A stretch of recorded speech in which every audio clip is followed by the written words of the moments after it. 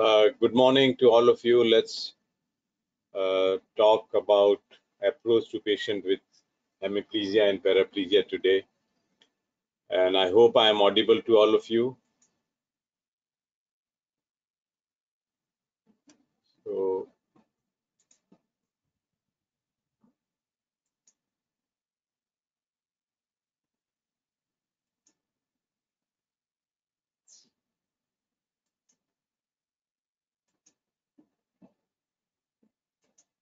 am I audible to you?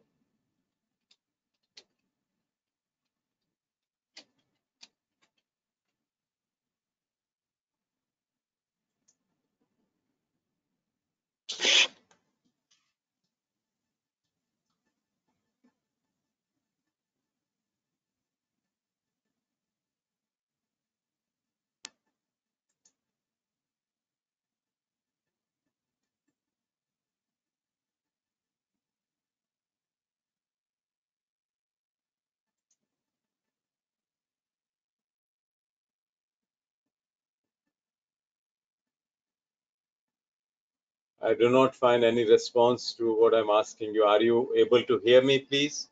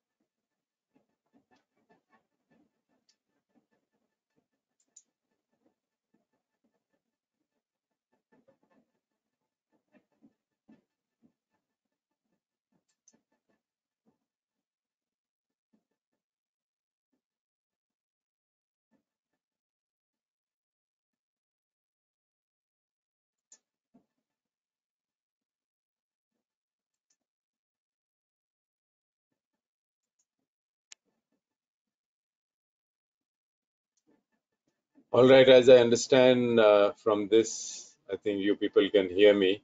Uh, and I'm sharing my screen. Are you able to see my screen? Or you are sharing or presenting a case?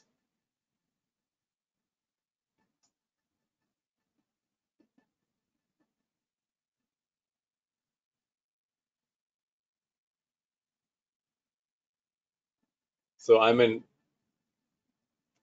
you opened your case.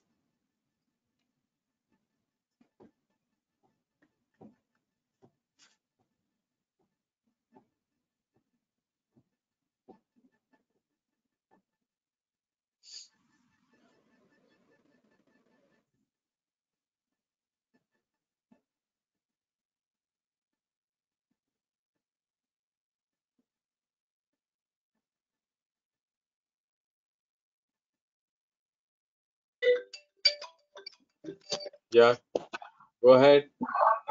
Good morning, sir. I'm audible. Yeah, yeah.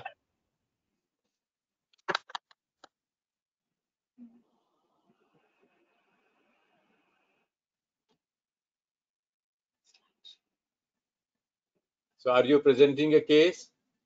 Yes, sir. I'm presenting the case. I'm Ruby. Okay, then, uh, you know, share your, yeah, I can see your screen. Go ahead. Uh, sir, uh, good morning, sir. I will present the case on hemiplegia. Should I start? Yeah, yeah, yeah. Start, please. Uh, good morning, everyone. Uh, I'm presenting the case of 60 years old gentleman who is resident of Greater Noida, shopkeeper by occupation. He is well fast and a right-handed person. Chief complaint: weakness in left upper and lower limb from past six days. Uh, deviation of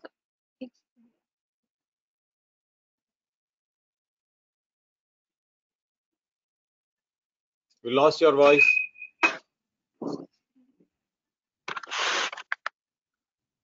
Yeah, carry on.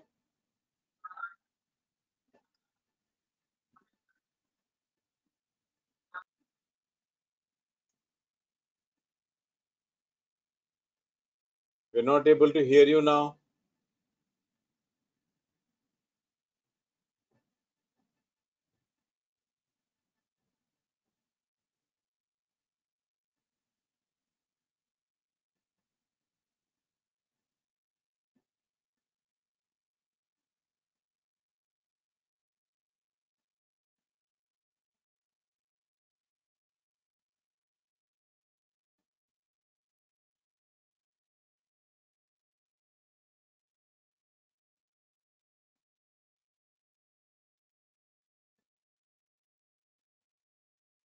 Are you having problem in uh, running through your slides?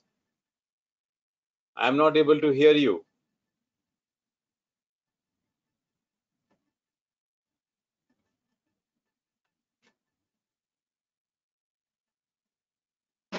So now I'm audible.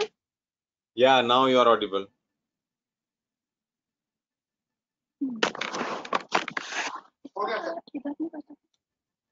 ठीक है आप अ, हो गया भैया एक बार start कर दो आप पासवर्ड डालो मतलब bank Sir, patient is a known case of hypertension and was apparently well six days back when he uh, think there when is- he did,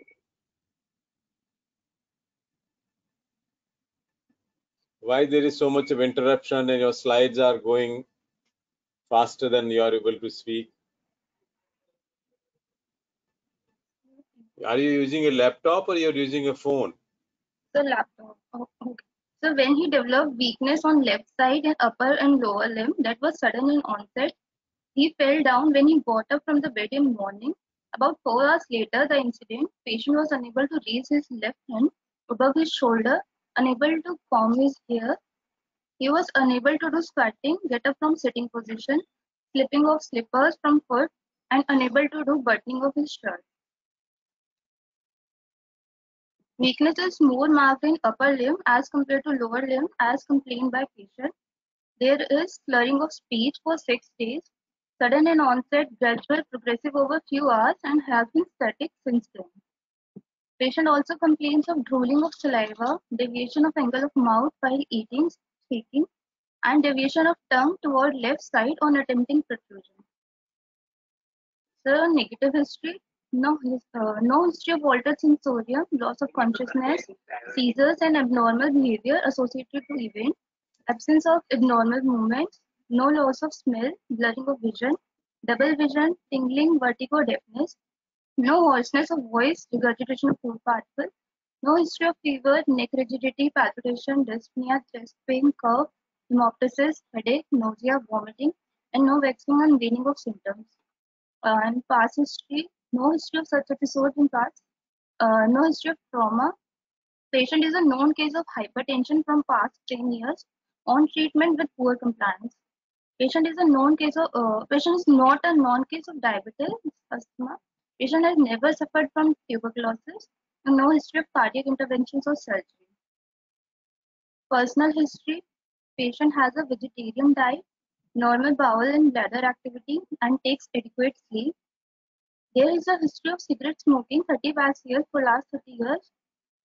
Family history, his brother is a known case of hypertension. Drug history, patient is presently on uh, antihypertension medication with poor compliance. No history of anticoagulant intakes, no history of any drug abuse. Socioeconomic history, no uh, low socioeconomic uh, family according to modified Kuppuswamy scale. Vitals. Patient No, is no, stop. conscious. Hold on, hold on, hold on. So everyone has heard the history. Uh, so to recapitulate, you should just summarize it. Uh, sir, it, Just summarize it. sir, uh, my patient, 60 years old male, who is a 60 known case of six, uh, who is a known case of hypertension, presented with weakness in left upper and lower limb, and deviation of angle of mouth to right side with slurring of speech for past six days. On your, uh, But that's all right. That's all. So presenting with that, so typical scenario of a sir, What do you think? the complete hemiplegia sorry, I. hemiplegia of left side. So I mean, you are saying hemiplegia or hemiparesis of the left side, and he's a known case of hypertension, and it occurred at what time of the day? That is very important. You did not take that history. In the uh, sir, in the morning he fell down from the bed while getting. So morning when? What was he doing at that time? Uh, sir, at 6 a.m. getting up from the bed. I mean, when he got up from the bed, he fell down immediately. Yes, sir. So he had got up and he tried to get up and he fell down. That's what you said. Yes. Yes. Okay. And uh, you said that there is more weakness in the upper limb than in the lower limb. Is that right? Yes, sir. Sir, as told by patient. As told by patient. How did you confirm this? What he's saying by asking what points in the history? How would you confirm that? Rather, before examining, how would you confirm this? Sir, like he is unable to raise his hand above head, or like for doing combing and buttoning. Mean, That's okay, but how do you say this is more weakness in the upper limb than in the lower limb? So in history, what are you going to ask? So one way of asking in that situation would be whether he's able to stand up, Yes. isn't it? So if he's able to stand up, that means power in the lower limb would be high, more than in the upper limb. If you are finding that he's not able to raise his head and above the shoulder and all that. Can it be a local problem, shoulder joint problem also, that he's not able to raise his hands above? Yes. sir. Yes, sir. Then how uh, do you correlate it with the how do you correlate it with the weakness or the di- Sir, but, deviation of the uh, angle of the mouth? yes, sir. But it along with the raising of hand, uh, he can't do like unbuttoning of uh, buttoning of shirt and combing and distal movements. We, it's not. Sorry, sorry. Speak very speak clearly. I'm not able to hear you. What are you saying? Along with raise, not able to raise a hand, what is he having? Sir, unable to do buttoning and combing and like fine work. Okay. So Distal distal fine movements are also affected. Yes. So it is not only a proximal weakness of the upper limb, but also the distal Distal. weakness. Similar history you can take if he's able to get up and stand, that means weakness in the lower limb is not that much as much as it is there in the upper limb. And then if he's able to walk, then what will you what will suggest you that he has distal weakness more in the lower limb and less or uh, uh, distal weakness is also there in the lower, lower limb or not? How what what history would he give? Sir, if distal uh, distal limb may uh, okay, lower limb like there is more weakness, so he was unable to stand up. But uh, no, stand can. up. So he may if, if his weakness proximal muscle weakness is not much, then he may be able to stand up. Sir, he will power give in the hip joints and knee joints is more than three plus, then he may be able to stand up. It's slipping of slippers, uh, history of slipping of Oh, slippers. yes. So he's not able to hold his slippers if he's wearing them, and isn't it? Or or if he's sitting and you find that there is a foot drop, isn't it? yes. If there is a foot drop or slipping of chappals, that will give you always a history of distal weakness. All right. Yes.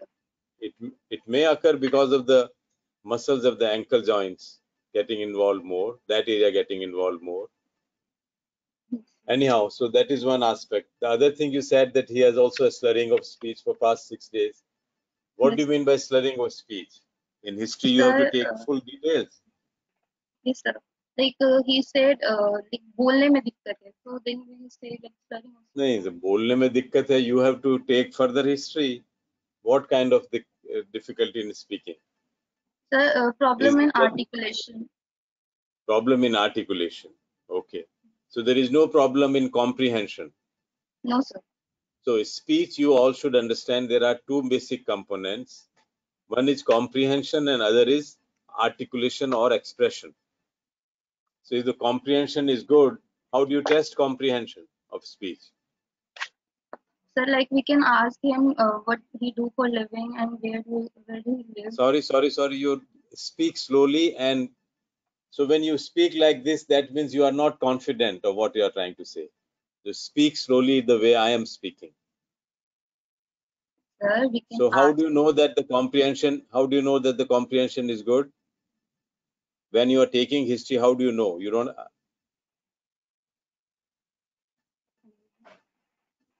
yes? Sir, we can ask the patient like the uh, for the comprehension like where did he live, whether? Where did he live, what he do for living, like what he do for like i mean you are care. asking him general questions. That that live what is he doing for living is not critical. What you saying that whatever you tell him is he responding adequately or not? Yes, that is sir. comprehension so that means auditory part is okay. Further you can also look for the visual component. You can ask him if he's if he can read or write. He can read something you give him something to read. Is he able to read or not? That is one aspect. What other aspect of comprehension you you will test? Sir, like we can show him the pen and ask him like what is the name for we then we can yeah check for identifying naming. the objects identifying the objects yes And then sir, we can uh, check for repetition by giving him four to five words and ask him to repeat. mm-hmm. That's for uh, that's more for memory, but anyhow, yes. So if he is able to understand, you assign him a particular task. You ask him, "Can you lift this pan from here?" And he lifts it, maybe with his other hand. The right hand is weak, then he can. All right. So his Yes. comprehension is good. You said the problem is in articulation. So if Yes. there is a problem in articulation, where the problem is likely to be Sir, at the level 12th nerve involvement, hypoglossal. at the level of Muscle, 12, uh, tongue muscle, 12th nerve. Assess the problem will be only in the nerves. It cannot be Sir, higher mus- up. Uh, it's likely due due to the uh, involvement of uh, muscle, hypoglossal muscle involvement. No, so mu- muscles can happen because of both regions. Na? They can be lower motor neuron lesion, there can be upper motor Upper- neuron lesion also. Yes, So you sir. cannot say that it is only lower motor neuron. Dysarthria can be central dysarthria, there can be peripheral dysarthria. So what is dysarthria is same as disarticulation. So what is hmm. the difference between peripheral dysarthria and central dysarthria? Sir, uh, central, uh, like the, Yeah. Have you heard the term called as pseudobulbar palsy and bulbar palsy? sir, yes, sir, pseudobulbar palsy. Uh, Pseudobulbar palsy is what? Central or pseudobulbar palsy is peripheral? sir, uh, it's an upper motor neuron lesion. uh, Yeah. Yeah. And bulbar palsy is considered as lower motor neuron. Lower motor neuron. Yeah. So, so dysarthria can be because of the. So why should he have dysarthria when he doesn't have any, according to your history, any regurgitation, no 9th, 10th, 11th, 12th nerve involvement, no tongue deviation. So why should he have dysarthria? Sir, because the, uh, the tongue has, uh, the tongue doesn't have the bilateral supply of uh, from the 12th So? So So like agar if there is problem on left side and the nerve of the right side has been gone, so left side become uh, weak. When there is no other supply for that. Nini, where is the where is the indication that there is a left side 12th nerve involvement? You are just saying deviation of the angle of mouth he is complaining. Yes, sir. That is due to the But he is not complaining of any nasal regurgitation. He's not complaining of any nasal twang, isn't it? yes, sir. So then how can you say that there is 9th, 10th, 11th involvement or 12th involvement? He's not, is there any deviation of the tongue also? This you will examine, not on history, but you can still get Yes, some sir, I- history. So that history is lacking in your, so these lot of points in your history are lacking. You have to go into depth of these. Sir, uh, we wrote that point in the uh, history of presenting illness about the tongue protrusion. Sorry? Sir, we wrote the uh, tongue protrusion point in the history of presenting illness. Huh? Sorry, you repeat it again. Yeah, Sir, I'm audible. Sir, we wrote yeah, the yeah, you are audible. tongue protrusion point is there in history of presenting illness.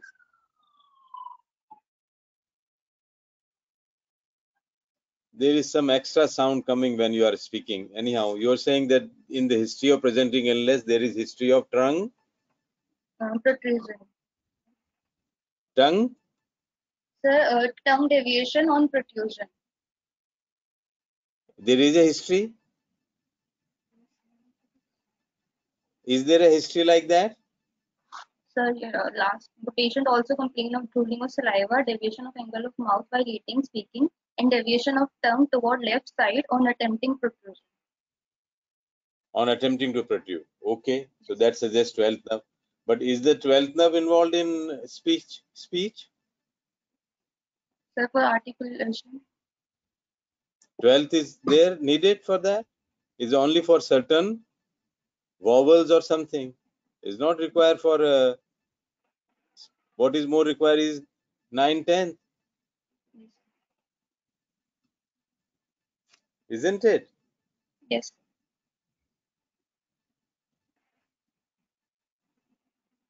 So you said there is a deviation of tongue toward left side on attempting to protrusion.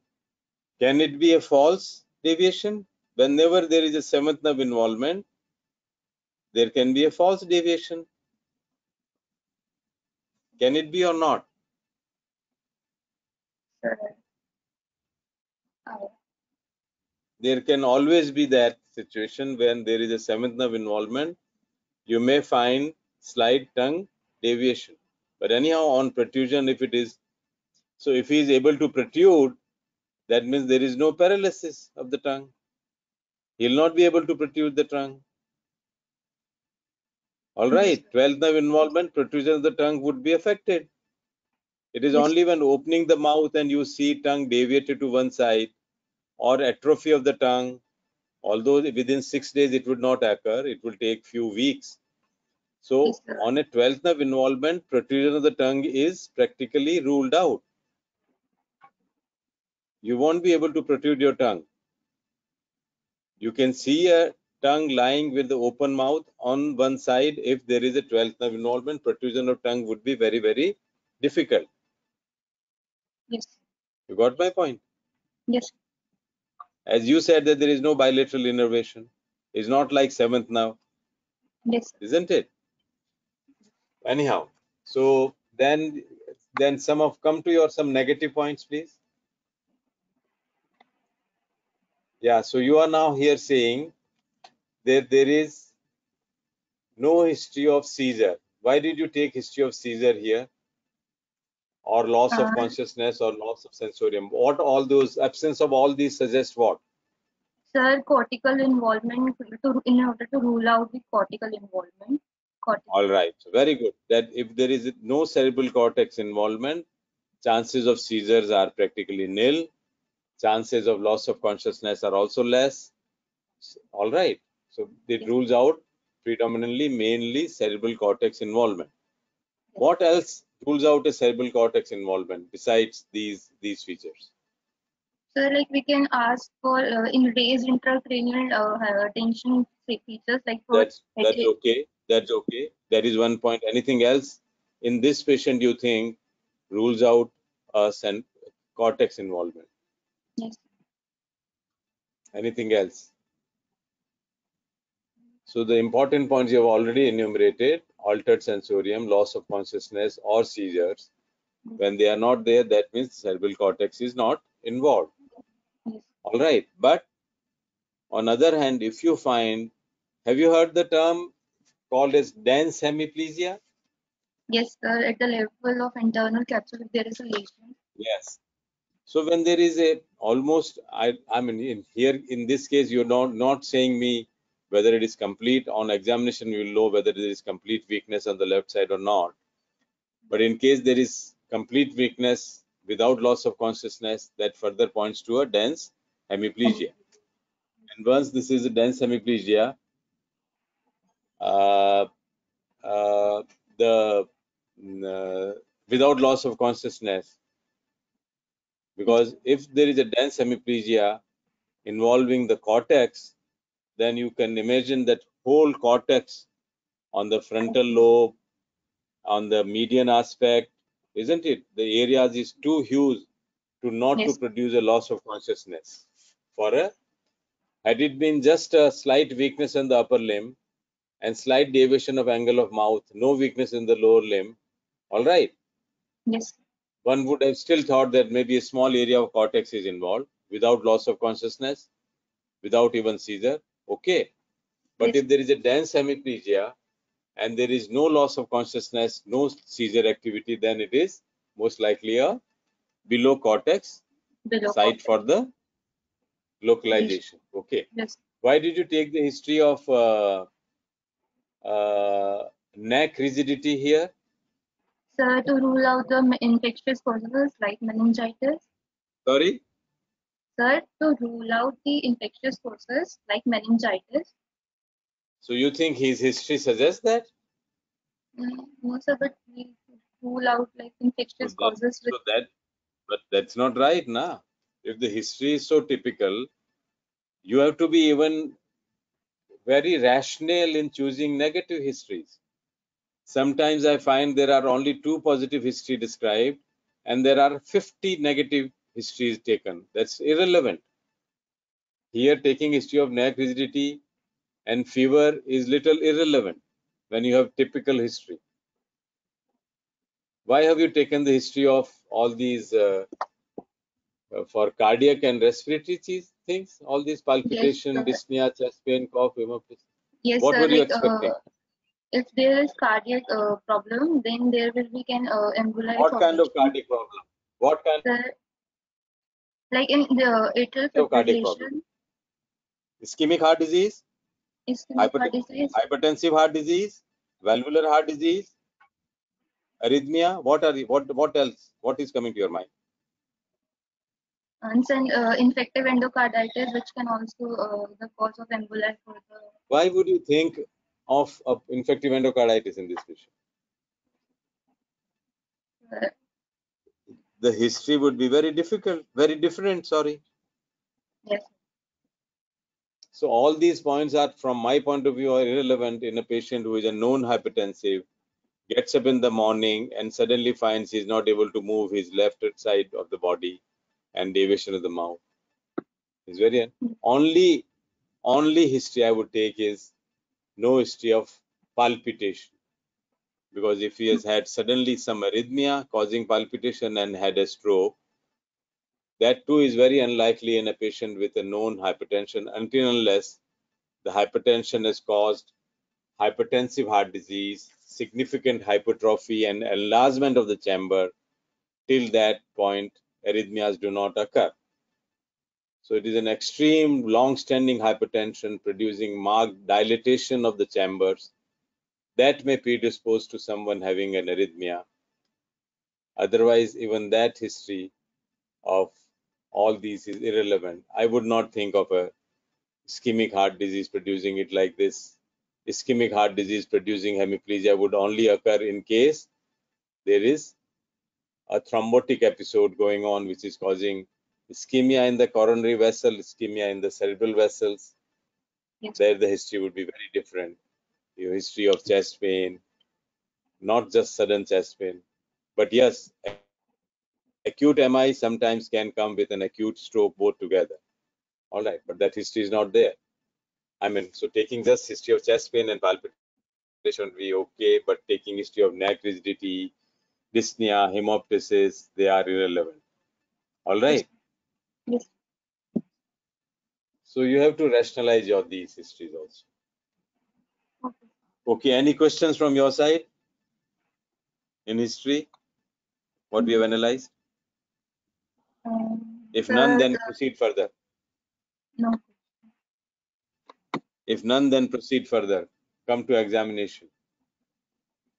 Any of your friends have anything they should write on the chat? Sir, uh, I will ask them. Sorry? Sir, I will ask them for their question because uh, and you can check there Yeah, in the let's go. question box. The question. On the history. The vitals. Yeah, carry on.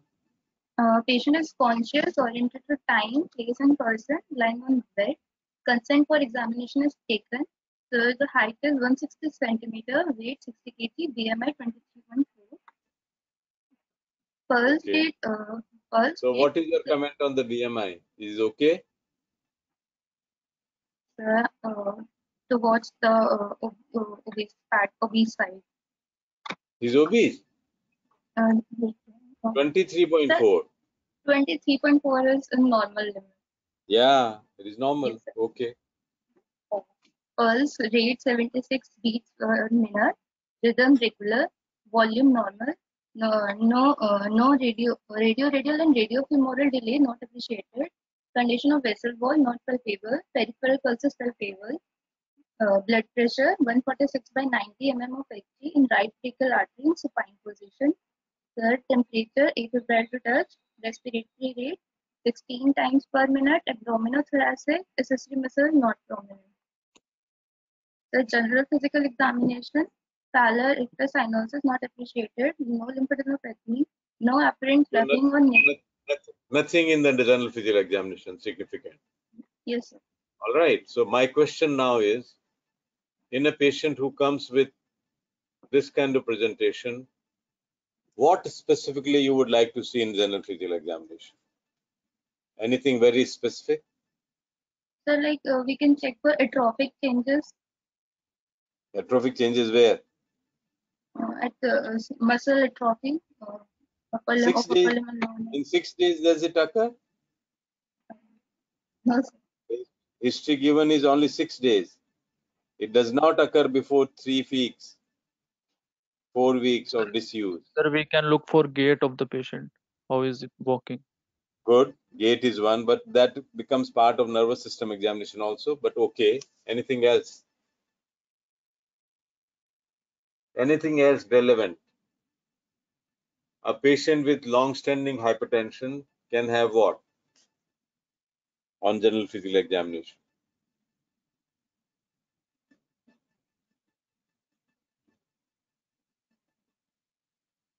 Anything from head to toe? Anything you think? There can be generalized edema. Uh, Pedal Localized- edema. Yes. pedal so- edema. most important thing is pedal edema because of two reasons. One, drug induced because of the very commonly used drug like any guesses? Amlodipine. Amlodipine is notorious for producing pedal edema. All right. So this one calcium channel blocker and most of them does produce some pedal edema in a lot of patients on long-term use. That's one thing. Or pedal edema without that can be because of a hypertensive heart disease, which ultimately leads to you have left ventricular hypertrophy, left ventricular uh, uh, dilatation, back pressure, right-sided system. You're you're not able to, and the pedal edema may occur. So one is pedal edema, very important. Anything else in these patients? you would like to see?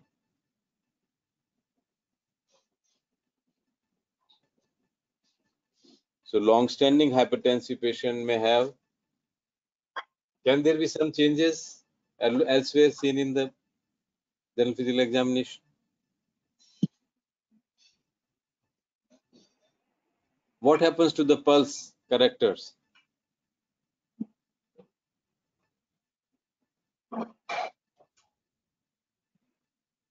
Or vessel wall. What happens to the vessel wall? Uh, thickening, so thickening of vessel wall, uh, stiffening. Yeah, at significant atherosclerosis setting in can lead to some hardening of the Vessel vessels. Yeah, hardening of the vessels when you feel them, they are not okay. That may occur. Anyhow, let's go to the next slide. Uh, Rishikesh, will you like to continue from here? Okay. okay. Systemic examination, uh, central nervous Yeah. system examination.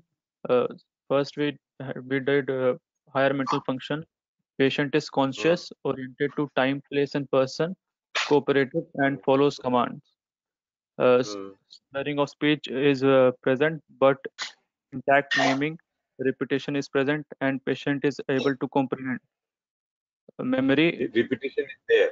Repetition is there, you are saying. yes, sir. Okay. No, but Uh, you said intact naming, repetition, and comprehension. Okay. All right. yes. So how did you test this now? This slurring of speech is occurring because of uh, is is dysarthria you are saying. Yes. So what kind of dysarthria is this? Peripheral or central? Central. So central. Central, central disorder. Sorry, Central, sir. sweetie. Sweetie. So you are saying peripheral. Why are you saying peripheral? The central dysarthria. Central. Central. Sorry. Sir, I'm saying it's central dysarthria due to involvement of the nerves. Central dysarthria. Okay. Let's yeah, we'll talk about it later. Go ahead. Memory you have written intact, immediate, short and long Yes, memory. So how do you test memory? Sir, immediate memory is that Tell me we how would you test immediate memory, how would you test short, and how would you test long memory? Just give me in one minute answer to all these. sir will uh, tell the patient to memorize uh, any random object or name, and and then we'll tell him to repeat it. And then we'll ask uh, when then we'll ask uh, the patient after some time, That- like five minutes. Uh, that would be uh, short, is uh, which, short, that is for which type of memory? short memory, sir. Uh, asking after Short. uh, Acha, and for immediate? immediate, Sir, sir. We tell the patient patient and uh, then we ask immediately after uh, telling the patient. So what is the difference between immediate and short? Sir, in Anyone else has a better answer? Yeah. Sir, in immediate, we ask like uh, immediately to, uh, to the patient after giving the birth for the short uh, memory recall. We ask after five minutes. And in short memory? Sir, in short memory, we ask after five minutes, and in long memory, we can ask for like this life event uh, when he gets Who- married. Where, where is it written that you ask after five minutes becomes a short memory? What is the Sir, source of your information? Sir, in immediate, we ask after five minutes. In short, we can ask uh, about what he had in meal yesterday or like uh, Exactly. That is what it is. That is what is the right answer I wanted. So immediate is you may give him four, or five names or some object's name and all that. And then after five minutes, you suddenly ask them, repeat those names. That is immediate. Short term would be if you're examining at 11 o'clock in the day, ask him what did he have for his breakfast or what did he have for previous night dinner and the long term memories, events of significance in his or her life, all right, of his education or of his marriage or of his birth of his child or something, and something like those, or any event Okay, Yes, so that's the difference between immediate and short. It's not that within five minutes you do it is either immediate or short, both. Got my point? yes, So you give them some few names of an objects or anything while you are taking history, and after four five minutes or say ten minutes, even or two three minutes, uh, you keep on asking or doing something more and then ask him again to repeat those names. That is immediate memory. The short term would be what he did in the morning, what did he eat, or if you're taking history in the evening, what did he eat for the lunch? All right, something like that. And long term memory, as I told you. Okay, let's go ahead with the cranial nerve examination. All Cranial nerve nerves, uh, olfactory, optic you have written is okay. Third, fourth, sixth is okay. Trigeminal is okay. Facial Yes, now. Describe the facial. Sir, uh, facial nerve motor, wrinkling on forehead is present, is able to close eyelids, uh, absence of nasolabial folds on the left side, deviation of uh, mouth, uh, deviation of angle of Folds the on the mouth left side. uh, towards the Lost right your side. voice. Hello? Uh, Is deviation of angle of the mouth to the right side yeah, yeah. and go is not, and not able to blow air properly due to loss of buccina- buccinator's weakness. So this suggests what type of facial nerve involvement? Sir, it's an upper motor neuron facial palsy. Suitable. Why upper motor neuron type? Uh, sir, because the the wrinkling on forehead is present and then the person is able to close eyes. So that means lower half is involved only, not the complete half. one side of the face. Yes, sir. Okay. So why why it happens like this in upper motor Sir, neuron? Uh, sir, uh, there is uh, the uh, facial nerve divides into upper and lower half. The upper half has bilateral supply, while the lower half uh, has only contralateral supply. Okay. Uh, Bilateral innervation. That's why in a UMN lesion you get only lower half affected. That is the answer. Yes. yes. Yes. Okay. Go ahead. Next. Next slide. Next, next slide. Sir, uh, Rishikesh, can you see Yeah. vestibulocochlear? Yes, yes. Uh, vestibulocochlear uh, on Weber test equally heard on both sides. Glossopharyngeal and vagus. Uh, test of uh, posterior one third of the tongue is present. Uvula is central in position. Normal gag reflex. No dysphagia or, and uh, regurgitation. Spinal accessory nerve. Uh, trapezius and sternocleidomastoid adequate power is present. All right. So 11th, 9th, 10th, 8th, Yes, 9th, sir. 10th, 11th, all are good. Okay. Come to the 12th. hypoglossal nerve. On attempting protrusion, the tongue deviates to the left side. No atro- atrophy and fasciculation of tongue. No. Okay. So there is 12th nerve involvement also. Yes. So, so what you should be saying as we were discussing that on protrusion, attempting the protrusion, you should also write the patient is not able to protrude, but tongue deviates to the Left side. uh. Yes. okay. Yes. All right. So seventh and twelfth both. So why Yes, in in a typical internal capsule hemiplegia, seventh and twelfth nerve get involved? What are the most common nerves get involved in a typical internal capsule hemiplegia? What is the most common? Seventh nerve.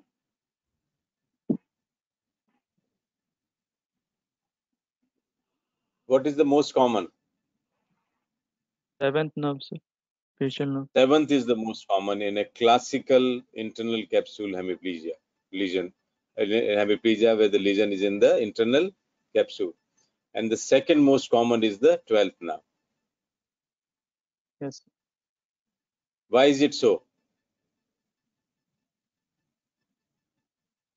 If you recollect the anatomical drawing of the internal capsule and the fibers placed, then you would know there is an internal, there is an anterior limb and there is a posterior limb, isn't it?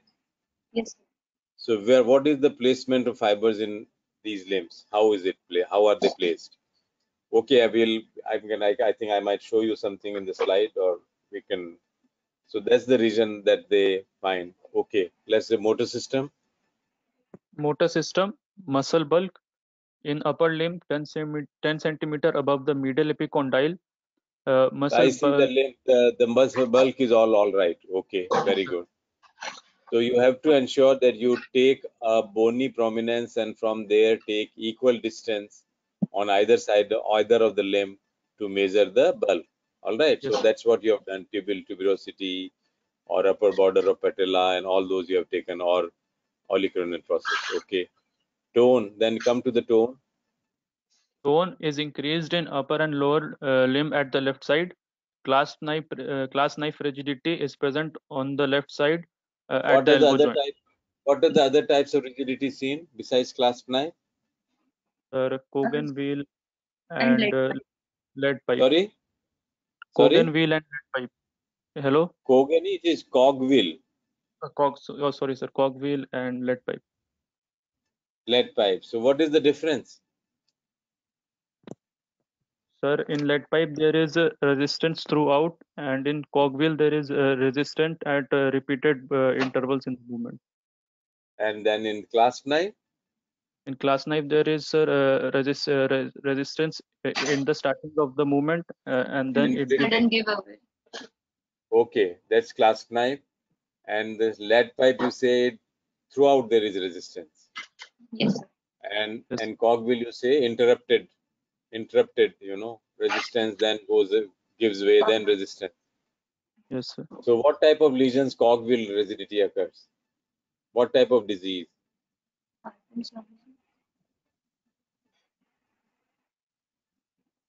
Yes, extra pyramidal. Extra pyramidal. extra pyramidal very classical of a extra pyramidal which are like seen in parkinson's or other those diseases. Okay? Okay. Uh, motor power you have written left side 3 by 5 in upper and lower limb. So it is not a significant weakness. So you cannot call it hemiplegia. It is hemiparesis. Left sided? Hemiparesis. paresis. Okay? Yes. The power is still 3 by 5 that means The muscle What is do you mean by three? against against Muscle gravity. can act against the gravity. 10 against the gravity. Okay. What about then? Uh, however, you come to gate now. Okay. Circumduction gate. Okay. Yes, sir. And no involuntary movements. Okay. Alright. So this 3 by 5, 5 power is at all joints in upper and lower limb? Yes, sir. At, at shoulder, at elbow, at wrist, all joints? Yes, sir. In upper limb, there, uh, there So, was three so, so shoulder, uh, what kind? Abduction, adduction, or uh, everywhere it is three by five? in upper. Yes, yes, yes or no? Yes, Sir, sir, in the shoulder and the elbow joint. and at the wrist. Uh, So you have to say everywhere, all the three major joints. Okay. yes. Okay. Come to sense system. A sensory examination, a two-point discrimination, two millimeter on pulp of the finger and 68 millimeter on the back. Tactile localization is intact. Stereognosis is in- intact. Pain and temperature and se- sensation intact. Vibration uh, sense normal with 128 hertz. So Throat every touch is there's no, so there is no sensory involvement. no sir. Yes, sir. Okay, so neither there is a loss of uh, peripheral sensation nor the cortical sensations. What are the other cortical sensations you know of besides tactile localization and stereognosis? Can you name them?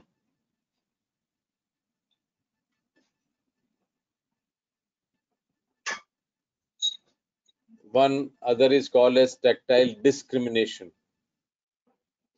Two point discrimination test.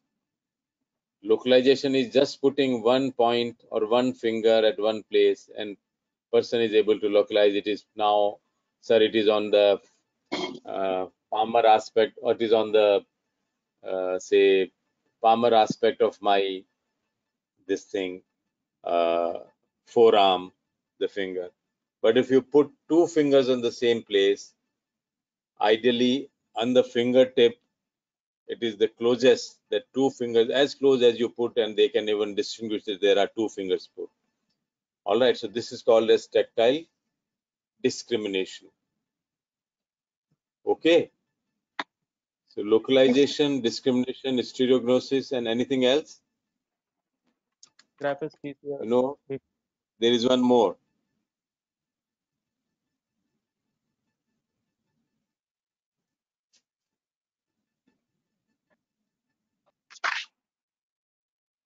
Okay, go ahead. No problem. Next, Reflexes. reflexes. Yes, sir. Corneal reflex uh, reflex blinking uh, occurs on touching the cornea with whisk of uh, wisp of cotton. Plantar reflex on left side Babinski positive, that is extensor uh, reflex, and on right side Babinski negative or normal, that is flexor or normal reflex.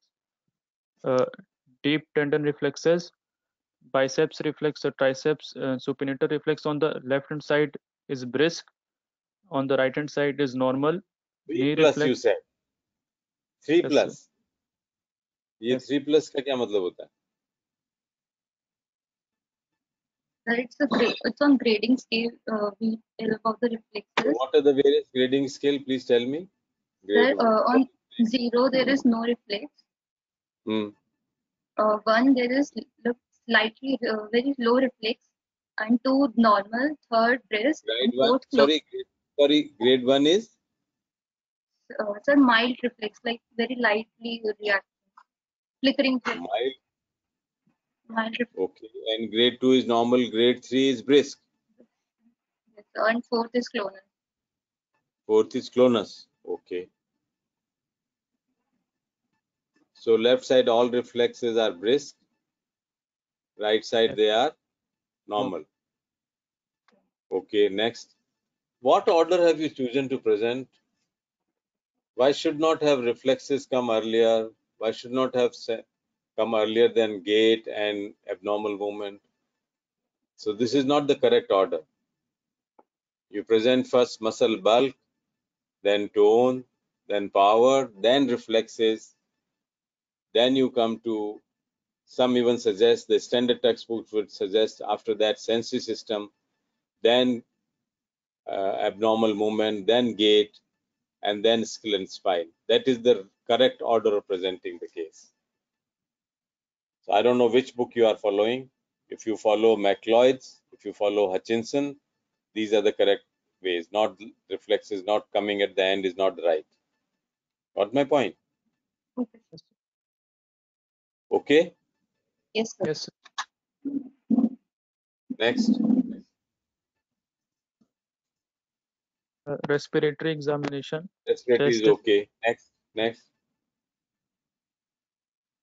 Cardiovascular Cardiovas- normal. Okay. abdominal examination. Normal. Okay. Summary. So before you go to summary, what happened to his uh, this thing? Uh, what about coordination? Did you speak about coordination in the beginning? Go back to your slide of examination. Scroll back. Yeah. Go back. Go back. Go back. Yeah, yeah, just, just, yeah. Next. Next. Next. No, no, you're going back. Come. Yeah. Don't go. Yeah. Yeah. Next. Where is the, sorry, come back. Gate, gate one. Yeah. Where is the coordination? That you for completely forgotten. Can you test the coordination? Cerebellar signs? Yes, the Finger nose test. This uh, did desire it? No, well, so with the power grade three, you can always test the coordination. Yes, sir. All right, so you missed out on this. That's why I tell you, after motor power, you should first go to sensory, uh, sorry, reflexes, then you should go to sensory system, then you should go to coordination, involuntary movement, gait. This is the order. Sir, to check the All right. coordination test, Sorry? Sir, for checking the coordination, don't we need the muscle power 4 out of 5? No, no, no. Three you can check. When you say it is able to move against gravity or not. Yes, sir. So that is three power is good enough. If it is power less than three, then you cannot. And right sided you could have already tested. Right side coordination तो normal hota. Yes, sir. Because there are cases where there is a condition called as ataxic hemiparesis. Yes. All right.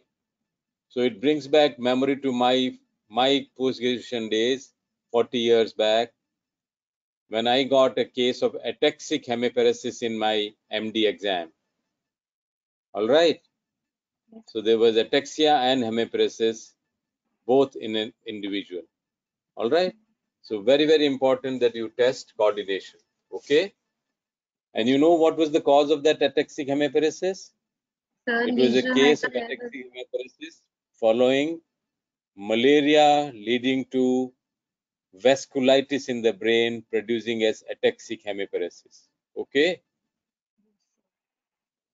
So coordination testing is very important, which you should not miss. If you say power is great less than if three or above, then you have to say about coordination. Okay. Yes. sir. You are not speaking with conviction. You are not happy with what I said. Yes, sir. Sir, like uh, Thank you. problem. Thank you. Thank you. Okay. Summary. Uh, Mr. X, a gentleman 16 years old, male, uh, is uh, named, known case of hypertension. Yeah. Go Uh, ahead. pre- uh, is a known case of hypertension presented with weakness in left upper and lower limb and tongue deviation uh, to, uh, and mouth uh, uh, and, and deviation of angle of the mouth towards the right side, slurring of speech for the past six days on neurological examination, uh, increased tone and uh, brisk deep reflexes on left upper and lower limbs are present. All right. Next. Probable diagnosis. This is not X. complete hemiplegia. It's hemiparesis. Yes, sir. Okay. Okay. yes, sir. Yes, sir. With seventh and twelfth nerve involvement, which are upper motor neuron type. You'll have to write. Okay. So lesion is at the level of internal capsule involving genu and posterior limb. That's fine. Mm-hmm. Likely etiology is thrombotic. Thrombo. Okay. yes, sir. Yes, sir. Involvement the lenticulostriate branch of the middle cerebral artery. This is the right. Okay. Okay. Any any other slide you have? Next. So what are the investigation you're going to do to confirm your diagnosis? What will be one if you are allowed to do only one investigation, whatever it may be? All possible investigations are available. CT Sorry? angiography. CT angiography. Even MR angiography would be better. Okay. Yes. MR angiography would be much better. Why? No radiation exposure. All right. Yes, sir. Yes. Hmm? And Yes, sir. delineation of lesions are much, much more better with MR than with the CT. Okay. Yes, sir. The answer is CT angio is not wrong, but when I said everything is available, that would have been better. And even better would have been MR angiography with perfusions, perfusion imaging. Okay. Yes, sir. All right. So what is the treatment for this patient now?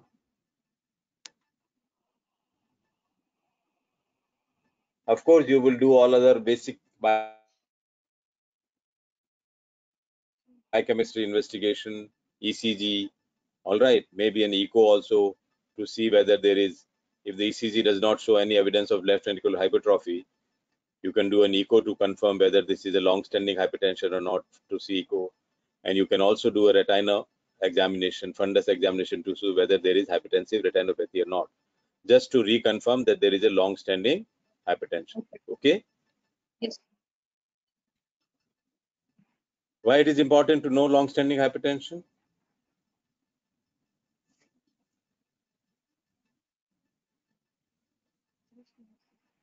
Okay, leave some questions for MD. Okay, let's. You have so. Can I now present something, or you have another case? Sir, that's. Do you have have you prepared any other case paraplegia also? No, sir. This No, one. No. Okay, no problem. So we'll now stop sharing your screen. So I'll start sharing my screen. Okay, sir. Sir, Okay. there were a few doubts uh, asked. Ask by- questions on the chat, or you are asking me. You can ask me the what is written in the chat or doubts. Please ask. me. Sir, few of our friends messaged us to ask. Yeah, yeah. Go ahead. Yes, sir. Uh, is it possible to differentiate between central and peripheral dysarthria on the basis of history? Yes. Tell me how. Guess. Make some guess. Make some guess. Rishikesh, repeat the question, please. Sorry. Sir, I told Rishikesh to repeat the question. Voice. Uh, Sorry, is it sorry, sir. possible? Sir, she said to repeat the question. Yeah, the question is Is it possible to distinguish on the basis of history whether the person has got peripheral dysarthria or central dysarthria?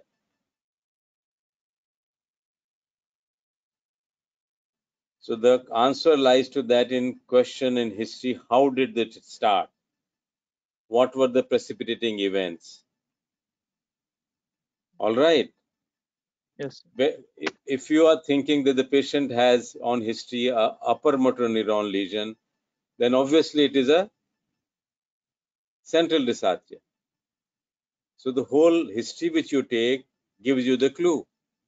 Got my point?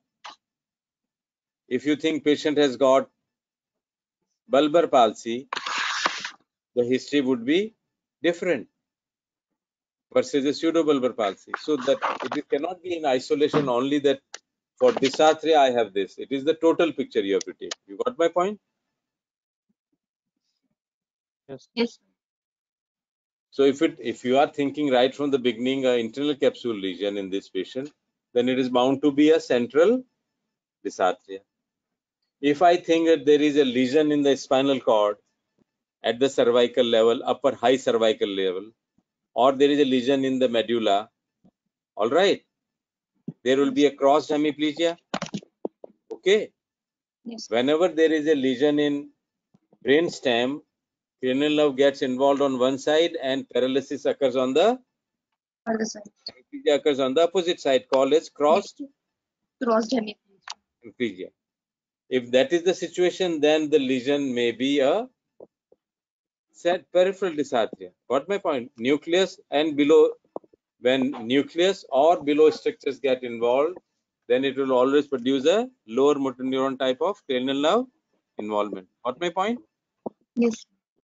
So that is the picture you have to take for that. Any other questions?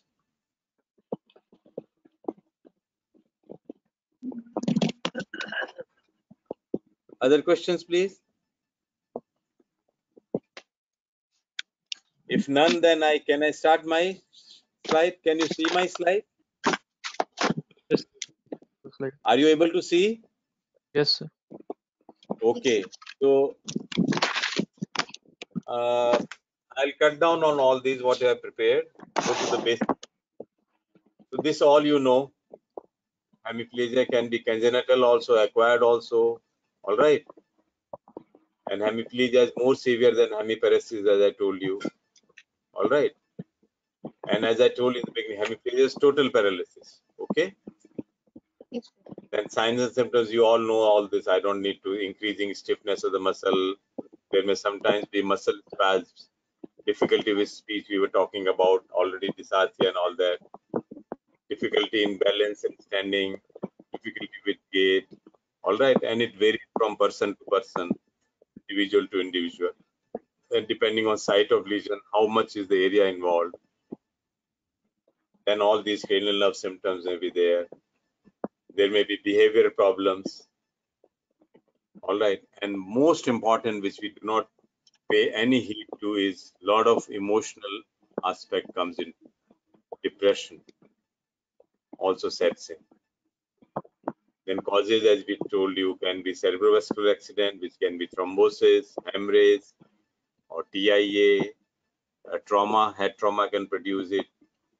Hematomas following trauma. Todd's paralysis, classically following seizures. Or chronic diseases like diabetes, hypertension, all which produces atherosclerosis and gradually narrowing of cerebral circulation, carotids, and all that. So either a plaque from there ruptures and blocks a vessel deep inside. All right, that can occur. Or there is an embolization from a enlarged heart. That enlarged heart more classically occurs with valvular lesions when there is a left atrial enlargement, classically in mitral stenosis, atrial fibrillation, and all that produces embolic stroke. All right, so all those may. Brain tumor can produce hemiparesis. Vasculitis, as I told you, my case of uh, malaria producing vasculitis and hemiplegia and ataxia together. Subdural empyema. As you were saying, meningitis. Yes, meningitis can also produce hemiplegia by vasculitis or by meningitis causing infarct by vasculitis or meningitis leading to brain abscess and brain abscess causing lesion in the brain causing hemiplegia like a brain tumor. Then uh, uh, then you may have hereditary diseases, leukodystrophies, and this is wrong relating your acute necrotizing myelitis. I mean, this is more for uh, paraplegia. Then by etiology, if you look into the causes, nervous system by large, you should have six or seven etiology for any illness. Infective, as happens with anyone. Inflammatory, not as infective separate. What you call as vasculitis comes under inflammatory. Then you have the most common vascular, then neoplastic, like tumors. Demyelinating disorder, classical example is multiple sclerosis. All right. Then you have traumatic. Then you have congenital like cerebral palsy. Then you may have disseminated, I would call more demyelinated. And then you have one classical. So now this psychological nocturnal hemiplegia, this is a very a rare thing and not have I've not seen any of those. And one of the most important cause of degenerative disorder, generally not producing hemiplegia, but may produce sometimes, they produce more of paraplegia are degenerative disorders like motor neuron disease. They produce more of a paraplegia or quadriplegia all right, rather than hemiplegia.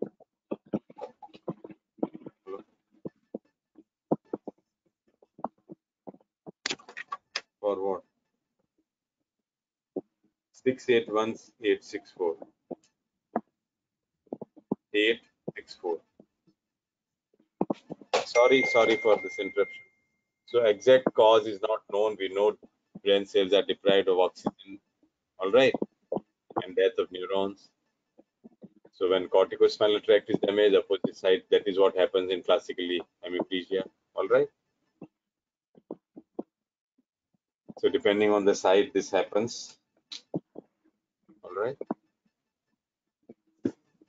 Dense hemiplegia, as I already told you, complete loss of muscle power. This is how the lesion would look into. Like here is a lesion. All right. CT scan of the perfusion scans. These are all right. So perfusion scan showing dense perfusion here, here, but there is lack of perfusion on this area. It is here perfused. There is no perfusion here. Acute onset, vascular, infective, and traumatic. visual onset are neoplastic or brain abscess and remitting relapsing are classically like multiple sclerosis. All right, so we do CT and MR and all that. Now CSCT scan showing huge lesion here. All right. Then you see a complete cutoff of the vessel.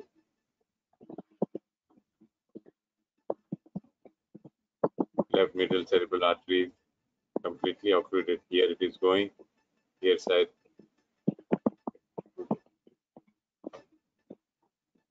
Treatment you all know.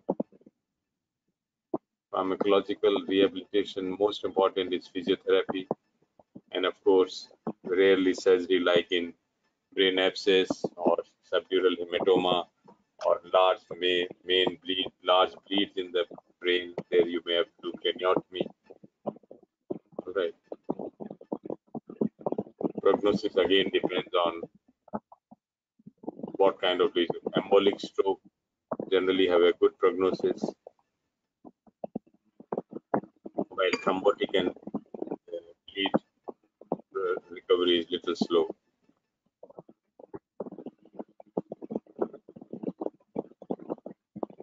So this is a 45 year old female agriculture worker presents with abrupt onset deviation of angle of mouth to left side and weakness of both right upper and lower limb for 10 12 days she had attended a funeral function and had was lot of had lot of stress. Suddenly had giddiness. Within few hours the relatives found she was lying floppy on the bed was unconscious not responding to call not moving any limb with deviation of angle of mouth towards left. On way there was abnormal jerky movements of all limbs lasted for a few minutes on way from there to the hospital there was a frothy discharge from the mouth and involuntary passage of the urine thereby suggesting she must have had seizures admitted in icu catheterized nasogastric tube put lifted to ward after three days three days back drowsy not oriented to place or person unable to move right upper and lower limb, but opens her left eyes when called. Speech output was nil except for some grunting sounds. Not able to open a right eye, history of fecal incontinence, but no history of fever, headache, or projectile vomiting or neck stiffness. Since a young patient has this history, no history of any nasal regurgitation. But she did give history 22 years back of fever and joint pains,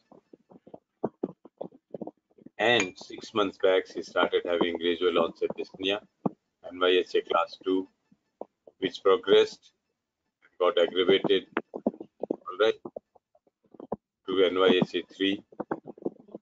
And there she started having pal- irregular palpitations even at best. 13 years back, she was detected to have a valvular heart disease, was advised surgery, she did not do She was put on potassium, beta blocker, diuretics, also advised to reduce aggression and emotional stress. 20 days before admission, she had stopped all medication for no reasons known. All right, no recurrent fever, sore throat, history of hypertension past for 20 years on medication, no history of diabetes, TB, or seizures, no history of similar weakness, father hypertensive and diabetic. Stroke two years back. Mother died when she was two years old. Cause is not known. Father married again. Two children. The uh, young child had valvular surgery at three years. Surgery done. Now asymptomatic. Now she's 15 years. Married at the age of 12. Three children. And this thing done 22 years back. Primary sterilization. Personal history. Mixed diet. Sleep is okay before the onset of symptoms. Bladder incontinence present after the onset of symptoms. No drug addiction or alcohol addiction. Lives in a three bedroom house. All right. Water sanitation facilities are good. Middle class according to Kuppuswamy. General examination like supine on the back. Drowsy but responds to painful stimuli and localizes it. Moderately built and nourished pallor and clubbing grade 1, no lymphadenopathy, no pedal edema. Nasogastric tube is there, bladder is catheterized, and there are IV cannula on both the hands. Pulse is 103, but it is irregularly irregular with apex deficit of 13, variable volume, wall is okay, no radio radial or radiofemoral delay. All peripheral pulses are equal blood pressure is normal, respiratory rate is very high, and patient is febrile. Nervous system, lying supine on the bed with right shoulder abducted, the extended elbow, forearm pronated, fingers slightly flexed, left shoulder slightly abducted, forearm flexed, elbow, fingers slightly flexed. Right lower limb extended, adducted, and externally rotated at hip, knee extended, and foot plantar flexed. Left lower, lower limb in adduction and flex position. Gaze preference is to prefer to the left side. Higher mental function, drowsy, eye opening three, verbal one, motor response. So Glasgow coma is nine, not oriented to time, place, and person. Nil speech output, memory intelligence cannot be tested, right-handed person. These are the findings of olfactory, obstructing, oculomotor vagal nerve. All right, they all look okay. As animal, fifth nerve is okay. Seventh nerve shows angle of mouth deviated to left. Nasofold absent on the right. Grimace absent on the right. Eighth nerve is okay. Motor system, bulk looks okay. Tone, hypotonia on the right side. Power, right upper limb grade 0, lower limb also 0. Left upper limb all normal and lower limb. Reflexes, right side are brisk, but no clonus. All right, plantar no response. On left side all are okay and plantar is flexor.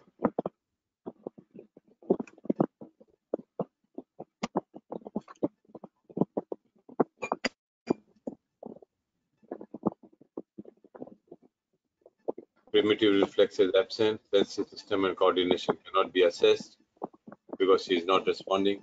No peripheral nerve thickening, skull spine normal, no carotid bruit. This can even come in cardiovascular examination. It can come into sometimes general physical examination also. And carotid bruit is important in a patient of hemiplegia from point of view of knowing is there any significant atherosclerosis and blockage in the main carotid from where many times in elderly patient the goes from produces stroke.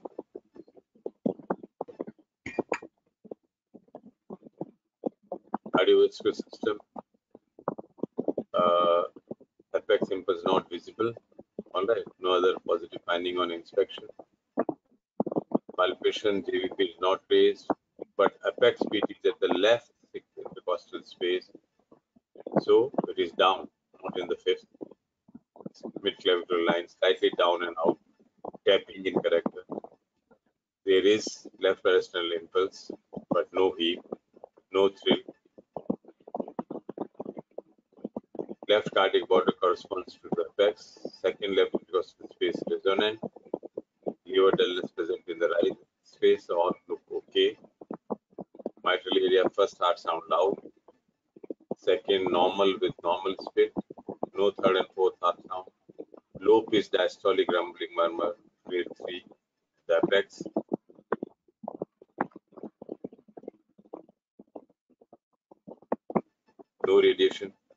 Best heard with bell of, stethoscope with patient lying in left position at the height of expiration and there is an opening stem. So classical mitral stenosis. Pulmonary area, both sounds are normal, no third and fourth sound, no murmur. Trachea is okay, central respiratory system is okay, except there are bilateral basal palpitations, which suggest heart failure.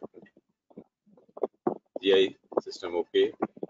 So here is a 45 year old lady with history of rheumatic fever 22 years back, gradually progressive dyspnea palpitation six months later, detected to have cardiac disease 18 years back on radical medication, but had stopped all her drugs for last 20 days, also hypertensive, and also has developed orthopnea and PND for last three, four months. 20 days back, she stopped all that, abrupt onset of this weakness, all right, and bladder bowel involvement. one examination, clubbing grade 1, pulse irregular, all right, GCS 9 as I told you, and all this we have talked about, of angle of devi- deviation to the mouth and hypotonia and Britt's reflexes on the right side and plantar mute. Cardiovascular suggests uh, mitral disease. So the diagnosis is Right-sided hemiplegia with right upper neuron facial palsy, most likely embolic in origin, involving left middle cerebral artery. Recovering from neuronal shock as self sensorium is improving little bit. Most likely valvular heart disease, mitral stenosis, hepatic etiology with atrial fibrillation and systemic hypertension. But no classical features of congestive cardiac failure or infective endocarditis, right? Or pulmonary hypertension or atrial fibrillation. No, sorry, and no pul- features of cardiac failure, infective endocarditis, and pulmonary arterial hypertension. But diagnosis should also add here atrial fibrillation because of irregular pulse. These were the investigations. Okay, some leukocytosis with polymorphs, 88%. There is some albumin in the urine. There are some RBCs there. The, uh, rest all look all right except L- L- high SGOT. PTINR is also high. Random blood sugar is high. This is the X-ray classical mitralization of the left side. See this? Heart. This one. So this is the first thing is found by aorta, then pulmonary artery, then atrium, and then the left ventricle. So this is generally this shape is like this. Shape generally should be like this, but here there is prominent pulmonary artery. That means pulmonary artery. Sorry, after aorta, pulmonary artery is prominent. That says that pulmonary artery hypertension may be there. Left atrium is also enlarged, and that's why there is straightening of the left quad. ECG, I think you can't see this is atrial fibrillation. And here you can see a s- lesion or FARC in the left side producing a right-sided hemiplegia. Can you see this here? In the CT scan, non-contrast CT. She was given decongestant, mannitol, antibiotics, probably because leukocytes, or probably she had aspirated. And those crepitations could also be because of the aspiration rather than because of frank heart failure. She was given all these therapy and she's gradually improved. All right. So any questions you have?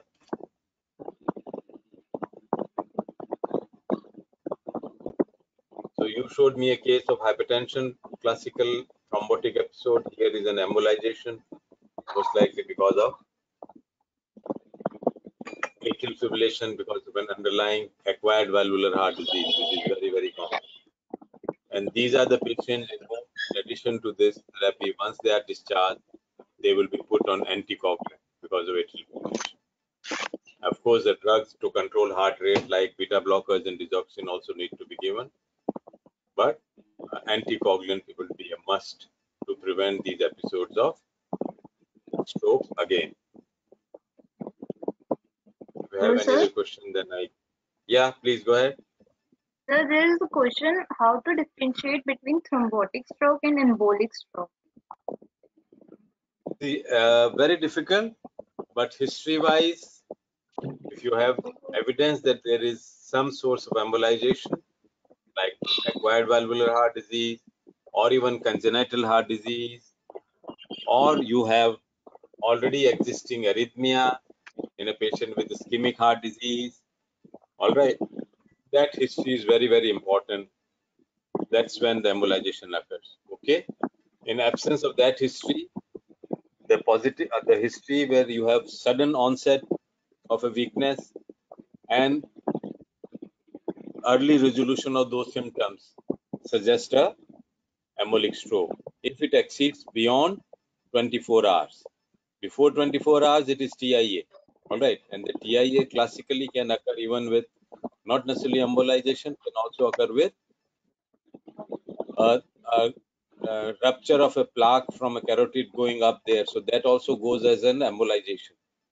all right, and blocks a smaller vessel like lenticulostriated branch, and then produces the lesion. History is very important. Associated uh, conditions patient has are important. And third and most important is again with embolization, your absence of history of seizures, absence of history of loss of consciousness.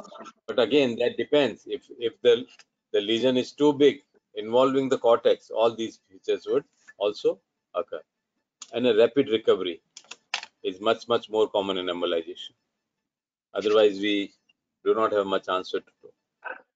All right. But then there is one more school of thought which says that the episodes of embolization occurs while you are resting or they are occurring while or they are occurring while you are inactive active so the school of thought is that if you have bleed hemorrhage as a cause of stroke generally it is during activity.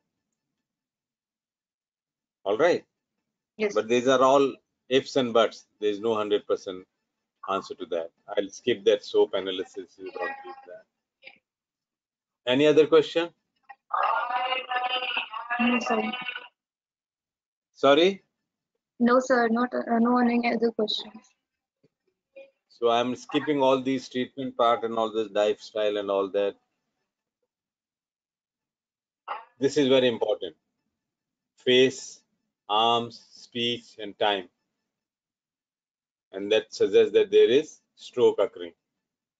So let's talk about paraplegia now in next half an hour or so. All right? Uh, uh, so impairment in motor or sensory function of the lower extremities. All right this is a general term for paraplegia. Both upper plus both lower limbs becomes quadriplegia. Only one limb becomes monoplegia maybe one upper limb or one lower limb. All right and paraplegia is both lower limbs. It can be spastic flaccid then it can be paraplegia and extension paraplegia and flexion paraplegia and extension is lower limbs take generally an extensor attitude when they are paraplegic only pyramidal tracts are involved and very early evolution. Inflection means lower limbs take an attitude of flexion. Both pyramidal and extrapyramidal tracts are involved, and there is a late evolution in these. What are the causes of spastic paraplegia human type? Gradual onset can be cerebral causes like cerebral diplegia or parasagittal meningioma, as you see a meningioma here.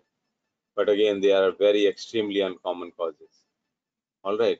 One common cause we see is cerebral palsy, where there is paraplegia. Okay. Spinal causes are compressive, non-compressive.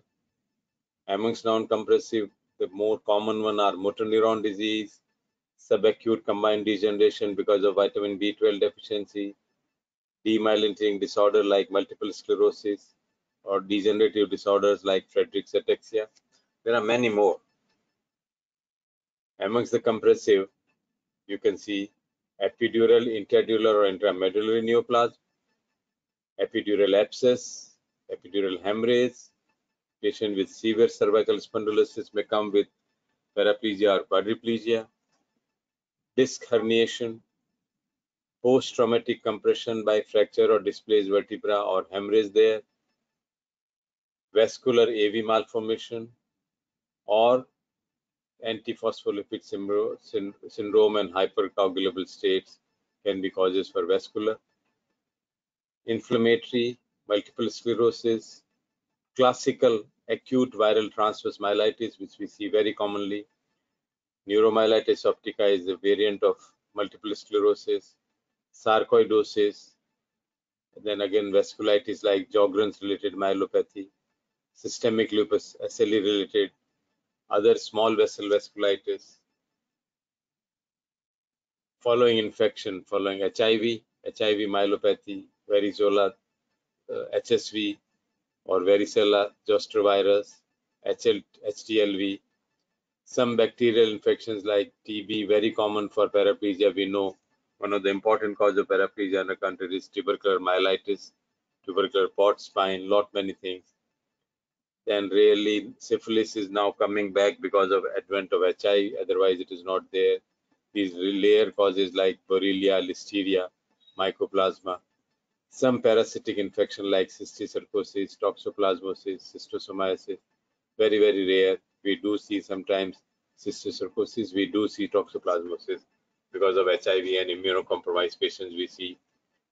Then some developmental disorder of the spinal cord like syringomyelia, meningomyelocele, or tethered cord syndrome. And as I showed you, subacute combined degeneration, vitamin B12 and some copper deficiency. Amongst the compressive etiology, which are intramedullary, are only 5%. There may be glioma, ependymoma, or chordoma like this region here, all right, in the brain tumors. So these tumors occurring in the spinal cord, all right.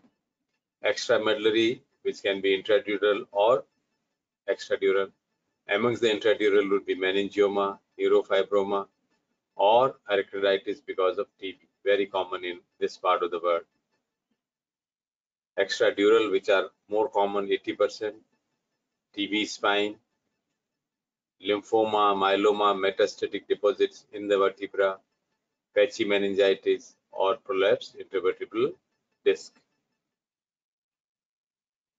sudden onset cerebral causes, very rare. Thrombosis of unpaired anterior cerebral artery, very, very rare. I have never seen a case. But this superior sagittal sinus thrombosis, we have seen lot many. Some patients with post delivery. So this is very common. We see patients with cortical venous thrombosis following post delivery because of hypercoagulative state. Yes, we do see. But coming with paraplegia are uncommon but they do come with these sometimes.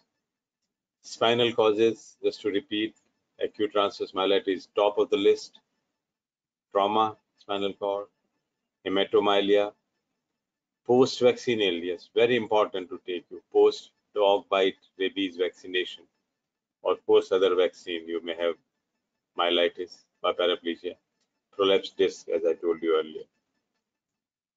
Flaccid paraplegia, that means person has the upper motor lesion but is in a stage of shock, which may last for a few weeks, or sudden onset in neuronal shock, acute transverse myelitis, spinal injury, which occurs in UMN lesion. LMN lesion involving anterior horn cell or peripheral nerves, acute anterior poliomyelitis, which is practically eradicated now. Acute infective polyneuropathy, very common AIDP or Guillain-Barré syndrome you heard of and rarely a progressive muscular atrophy.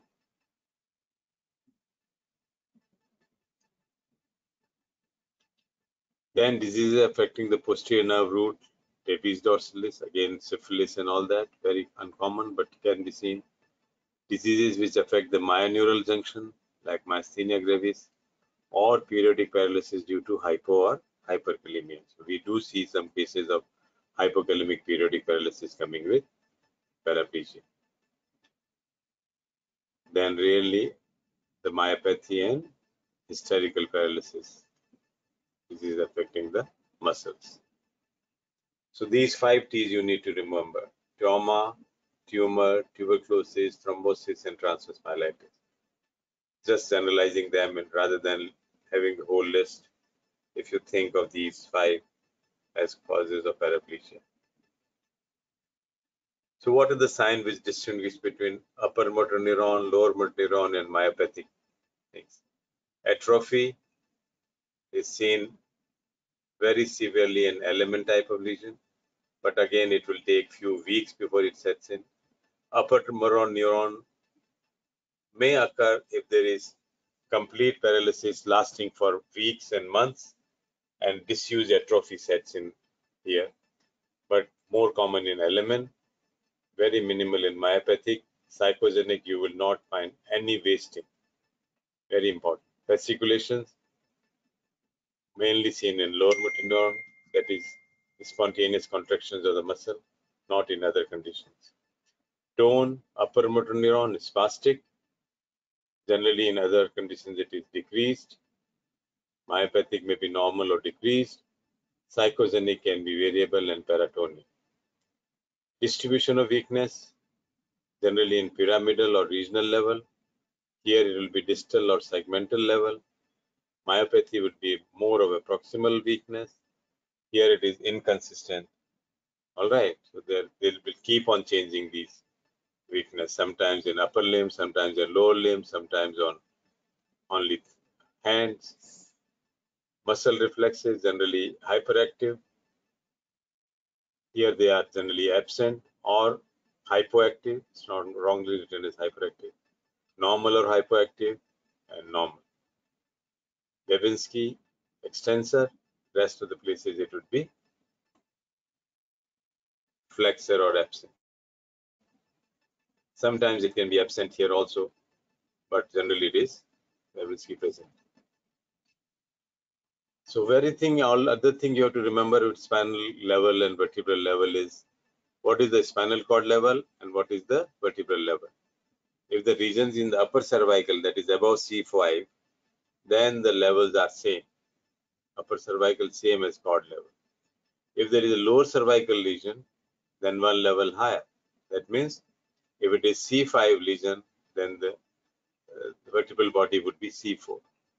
If it is upper thoracic, that is from T1 to T6, then two levels higher. So if there is T3 spinal cord level, then the lesion would be at the T1 level, vertebral level. Lower thoracic, two to three levels higher. Lumbar region, T10 to T12, and sacral region T12 to L1 because the spinal cord ends at the L1 level. So this is very easy to remember. Now just let's discuss one case of paraplegia and then I'll call it a day. Uh,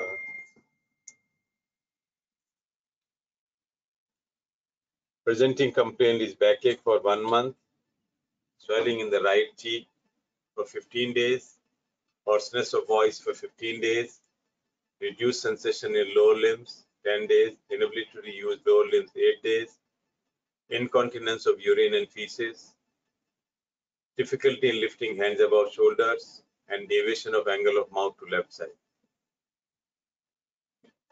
All right.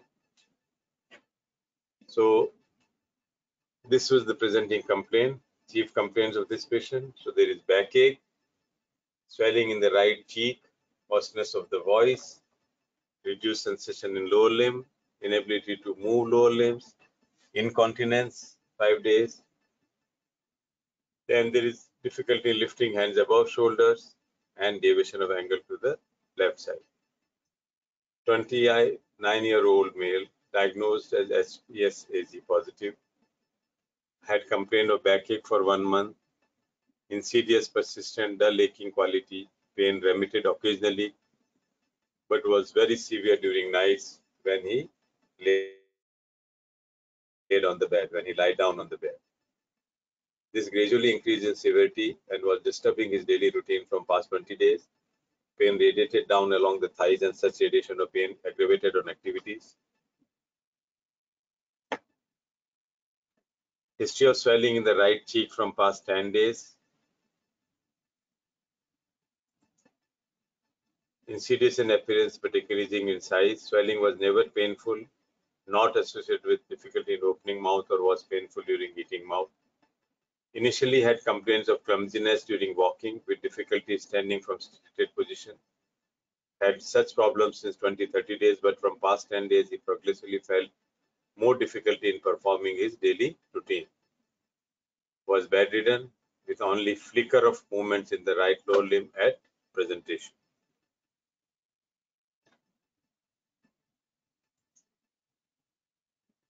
Patient had hoarseness of voice for last 15 days sudden onset, persistent, and no aggravating or relieving factor associated with occasional difficulty in breathing and noising respiration. History of band-like sensation around umbilicus. No history of fever, cough, and expectoration. No history of chest pain, palpitation, and dyspnea. No history of headache, loss of consciousness, syncope, seizures, altered sensorium. No history of wasting or fasciculation, no history of involuntary movements. In past, he had hepatitis six months back, but was not on any treatment as there was no disease activity, active disease going on. No history of chronic diseases, personal history, occasional smoker, alcoholic, family history, no other relevant illness in the family. On general examination, conscious oriented, not anemic, not jaundiced, no sinuses, no clubbing. All right. Pulse 86, blood pressure okay, cardiovascular respiratory system normal, multiple lymph node enlargement, upper cervical matted, not tender, firm inconsistency, as big as 4 centimeter in size, right supraclavicular lymph nodes, left lower deep cervical lymph nodes, right and left axillary lymph nodes, medial and apical group, inguinal lymph node, last thyroid, firm consistency, smooth surface, parotid and last firm consistency, non-tender lobulated surface on the right side. This is how he looked like. When you see the nodes here, can you see the right side swelling and slight deviation of the angle of mouth you can see. This is the position of the limb, externally rotated, extended. Can you see this swelling here of lymph nodes, parotid?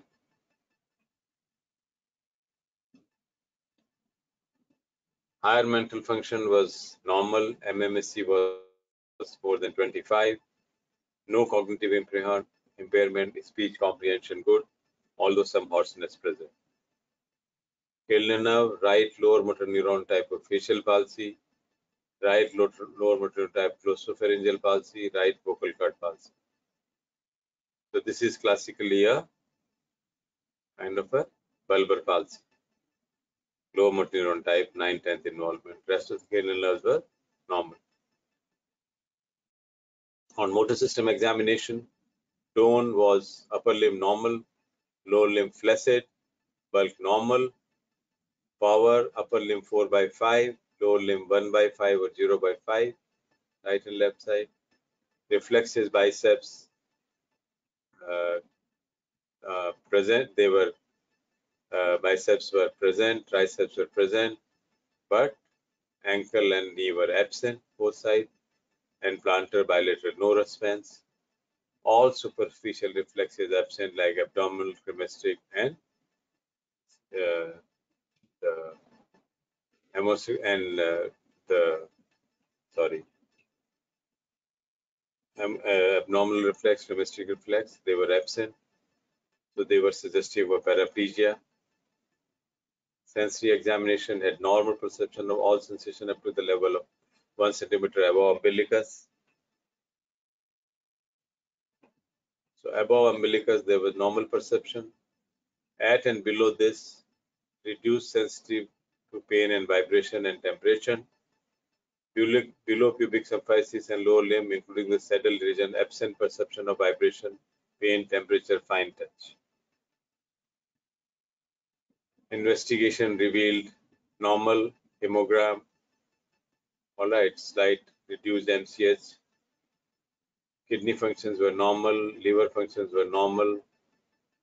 Thyroid had slightly elevated TSH but not significant. HIV negative, HBsAg positive, HCV negative. Ultrasound abdomen pelvis showed hepatomegaly with minimal ascites pericardial pleural effusion, all that were present. Chest X-ray normal. MRI spine, CT thorax, CT abdomen were done. You can see that. So liver is slightly enlarged. Let it slide.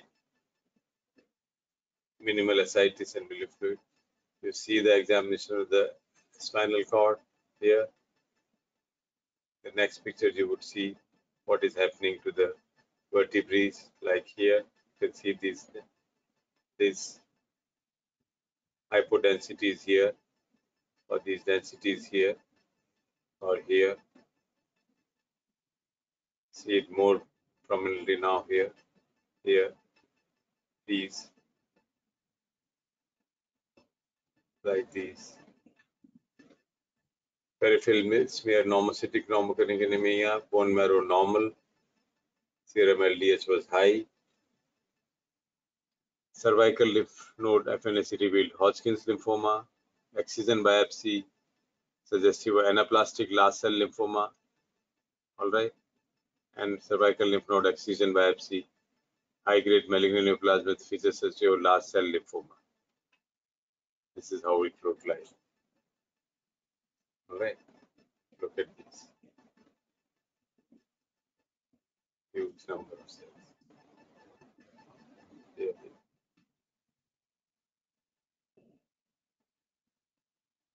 So all these people were consulted. The diagnosis was generalized lymphadenopathy, compressive myelopathy, SPCC positive, and histological diagnosis was anaplastic large cell lymphoma with metastatic epidural spinal cord compression syndrome. All those in the vertebrae you were saying were metastasis. So what is metastatic epidural spinal cord syndrome? I think we can skip that.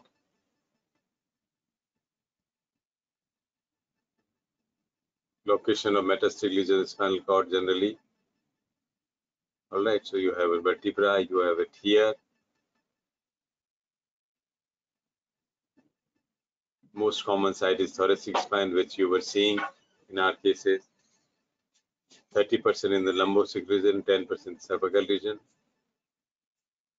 Right, most common is thoracic. Back pain is classical. Motor and autonomic dysfunction may occur.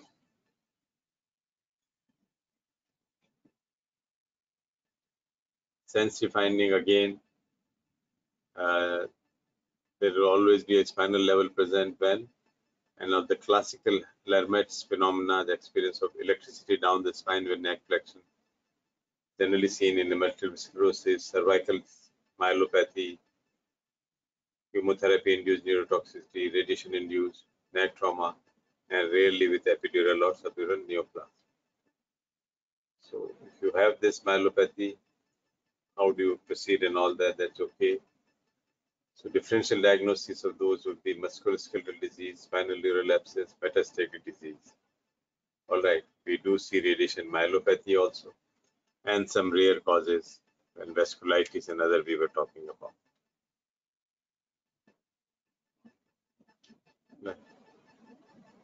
So this patient had a metastatic disease producing paraplegia. On the other hand, you can have other patient with classical acute transverse myelitis spinal shock which is the most common cause of paraplegia we see. And most of them it is post-viral, but these are the important causes in that. They may be following a extradural tumor with bleed, transverse myelitis, spot spine, epidural abscess, or disc prolapse. This is what you see here. See it here.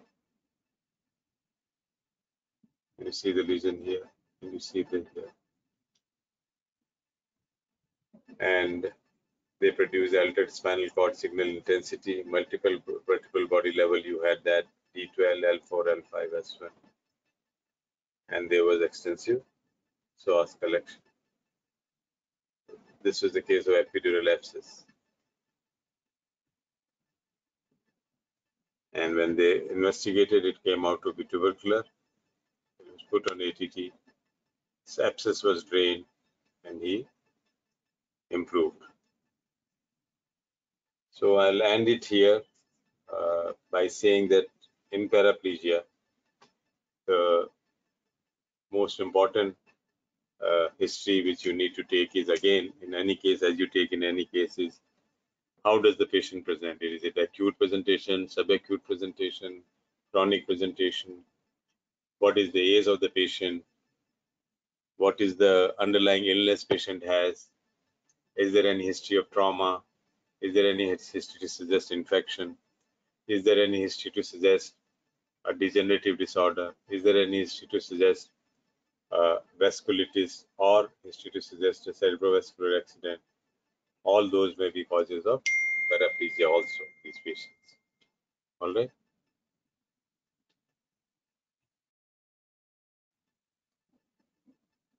As I showed you, the most common site for transverse myelitis is thoracolumbar. All right. Some it can involve generally three to four vertebra. Can it sometimes be pan spinal? All right. And this is how you diagnose them.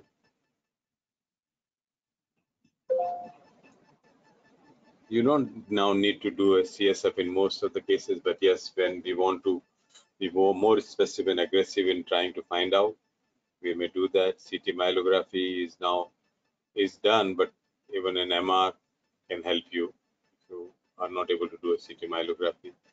It is much much more common when you want to do a surgery or MR with gadolinium scan is much better. And these are the differential diagnoses you would think of when there is a transverse myelitis. So any other questions you have, please ask me or write in your chat.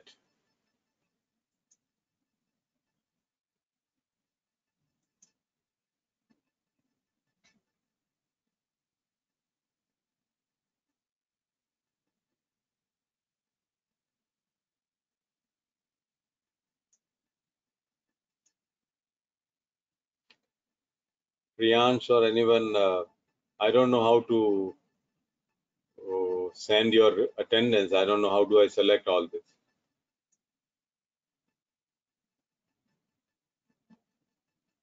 Can anyone please respond?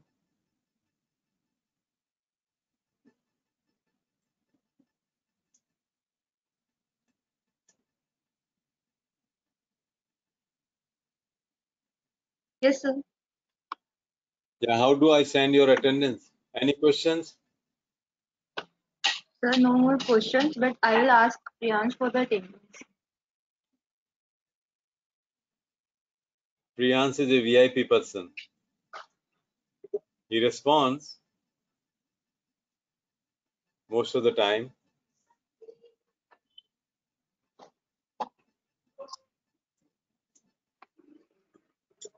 So when are you due for your exams? This this December? Yes, sir. Most likely. Sorry, fi final prof exam you are due for this November, December? Yes, sir. Most likely. Most likely. No, I think it will be held in that time now. Hopefully. How many how many of you are vaccinated? How many of you are vaccinated? Almost all. Almost all. Okay, so how do I send your uh, how do I send your attendance? Like, How do I select that? I'm not able to do it. Last time also I could not. Sorry? Priyansh isn't responding right. Ask him.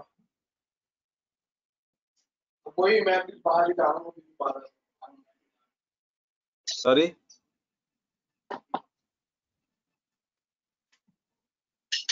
Sir, there's all 125 of us are present, so It's showing 123. Anyhow, doesn't matter. Two as a bonus. Two members can be bonus. Anyhow, so all are present. I'll write that.